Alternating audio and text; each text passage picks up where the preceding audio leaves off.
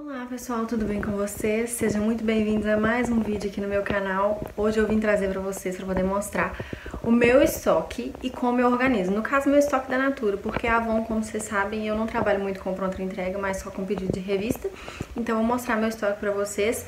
Não é um estoque enorme, principalmente porque tem acho que quatro ou cinco meses, acho que tem quatro meses que eu revendo, então eu tenho um estoque pequeno, eu ainda tô entendendo o que os clientes gostam. E depois, se vocês quiserem, eu posso falar mais sobre o que ter no estoque, mas não sou muito sabida nesse assunto, mas eu vou mostrar pra vocês como eu organizo, que teve gente que pediu. E eu moro em apartamento, então é um estoque pequenininho, é um pedacinho aqui do meu armário que eu consegui liberar, onde eu guardava algumas coisas de casa. E aí vou mostrar pra vocês. Esse aqui é um armário com espelho, inclusive estou aqui, que é onde eu guardava algumas coisas da minha casa. Então eu consegui liberar um espaço nele pra poder montar meu estoque. E aqui acaba ficando zoneado, né? Vira o quarto da bagunça, porque quem trabalha em casa vai me entender. Tem algumas entregas pra fazer aqui aqui. Aqui é a mesinha onde eu tiro as fotos para divulgação que eu faço. Aqui tem alguns produtos que eu vou preparar para entregar. E aqui está o meu estoque. Vou passar assim primeiro para vocês darem uma olhada. E eu vou mostrar como é que eu tento organizar. Eu tento dividir por áreas. Tipo assim, mamãe bebê, que eu acho que é o que eu mais vendo de presencial. Então eu sempre tenho bastante coisa. Depois, produtos de uso diário. Aí aqui sabonete, hidratantes, polpa de mão, etc. Vou mostrar direitinho. Aqui é a parte mamãe e bebê, que como eu falei é o que eu mais vendo. Lenço eu tenho bastante, inclusive, tô precisando mandar eles embora. E aqui eu tenho, eu tento colocar um em cima do outro para eu poder ver o que eu tenho. Por exemplo, aqui é condicionador, então embaixo desse tem outro. Aqui é, não mentira, aqui é caixa de sabonete, então embaixo desse tem outro. Aqui é condicionador, embaixo desse tem outro. Shampoo tem só um. Daqui hidratante, colônias, eu sei porque tem esse plásticozinho. Caixa de sabonete, duas unidades. Normalmente são montar, montar kit. E eu tento deixar os refis sempre prontos, juntos aqui na frente também. Pra poder ficar mais visível, sabe? Eu tento colocar tudo de forma que eu consigo ver de tudo que eu tenho e quantidades. Aqui tem os lenços pequenininhos de kit e essas caixas de sabonete sortido, que eu tenho uma fechada embaixo, caso o cliente queira comprar, e a de cima eu monto o kit. Aqui chega na parte de cabelo. Eu tenho tudo que eu tento ver, assim, pra mim uma unidade de cada já é mais que suficiente. O que eu tenho mais de um, ou é porque eu peguei uma promoção, ou porque foi embora, ou porque eu monto kit. Aqui, por exemplo, uso diário shampoo, condicionador, creme de pentear. Esses aqui eu tenho alguns a mais que são fluidos, porque eu peguei no empório. Aqui também tem fluidos. Aqui atrás eu tenho um kitzinho, eu sempre tento ter esses kitzinhos um pouco mais caros, assim, de presente se a pessoa quiser comprar, que é o Body Splash e o creme. Avon eu quase não tenho, então tem pouquíssimos produtos espalhados, por exemplo, aqui e tal, mas eu quase não tenho pronta entrega. Aqui eu tenho colônias, que eu tenho só duas, eu só tenho colônia feminina, não tem colônia masculina pronta entrega ainda, porque, eu, na verdade, eu vendo mais colônia masculina do que feminina até hoje. Eu acho que as mulheres compram para presente, mas eu não comprei nenhum pronto entrega ainda, porque eu tô tentando conhecer os gostos primeiros, ou então pegar uma promoção boa. Daí aqui tem creme também, dois cremes desse Águas. Esses aqui são creminhos que eu monto kit, esses de 80ml, então tem uma quantidade maior. E aí eu coloco um em cima do outro pra eu conseguir ver as quantidades que tem sempre, contando de dois em dois.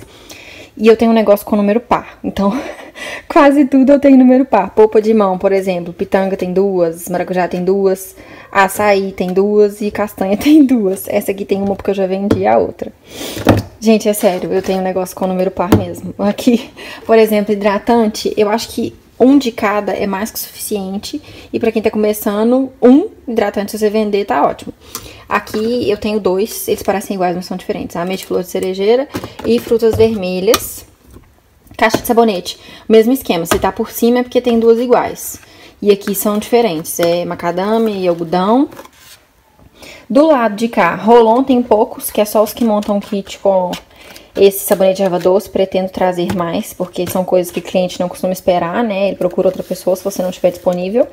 Sabonetes unitários aqui, ó, são aqueles de montar kit, também tem uma caixinha fechada, caso o cliente queira. E esses da Ecos unitários, ó, que eu monto kit ou então vendo unidade também. E aqui, nessa caixinha menor, acaba tendo coisa de rosto e maquiagem. São os que eu tenho pouquíssima coisa. Tem alguns produtos da Avon, outros da Natura, que eu vendo poucos, porque eu acho que tem uma variedade muito grande de cor de batom, de cor de blush. Então, eu nunca vou conseguir ter um estoque completo para atender cliente. Mas tem alguns, caso a pessoa precise de última hora. Essa é a parte de cima do meu estoque. Tô falando super rápido, né? Aqui eu tenho essa gaveta que eu coloco todas as minhas sacolas, embalagens para presente, maquininha de cartão, selos troca fácil, tem alguns papéis para poder fazer embalagem de presente, caixa. E aí embaixo, aqui já começa a misturar com as coisas da minha casa. Isso aqui é meu álbum de casamento. Tem um kit pronto, coisas que eu uso para poder tirar foto, ó. Essas caixinhas, coisas que eu uso para poder montar kit. Aqui tem uma cola quente. Aqui dentro tem alguns fitilhos. E aqui são boletos. E aqui são todas as minhas amostrinhas, ó. E meu mostrador da Avon, que eu nunca usei. Mas eu tenho todas as amostrinhas aqui que eu ganho ou que eu compro. Algumas eu sempre mando para as minhas clientes, para elas experimentarem. E aqui já é praticamente só coisa da minha casa. Só tem algumas caixas que eu separo para caso eu precise enviar alguma coisa. Ou então até fazer essas embalagenzinhas, tá vendo? Essa aqui é uma caixa do espaço digital. Eu usei para colocar as coisas de maquiagem. E aqui embaixo é coisa da minha casa mesmo, mas eu passei a usar um caderno maior para fazer controle de estoque, porque mesmo estando organizadinho, eu gosto de ter esse controle em folha para eu saber o valor que eu tenho de estoque também, né? Então, é isso. Deixa eu virar. É isso, esse é meu estoque.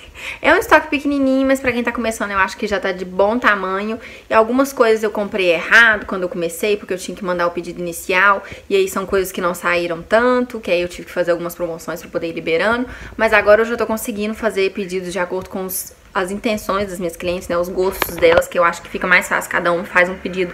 Não existe o estoque ideal, né? Cada consultora tem o um estoque ideal para ela mesma, de acordo com os clientes, com os gostos dos clientes. Espero que vocês tenham gostado desse vídeo. Se vocês gostam de vídeo trazendo dicas sobre estoque, alguma coisa do tipo, o, estoque, quanto ter de cada coisa, valores de estoque, etc, vocês comentam aqui embaixo pra mim. Não esquece de curtir, compartilhar e se você me conheceu por esse vídeo, se inscrever no meu canal e ativar o sininho pra você não perder o próximo, tá bom? Um beijo!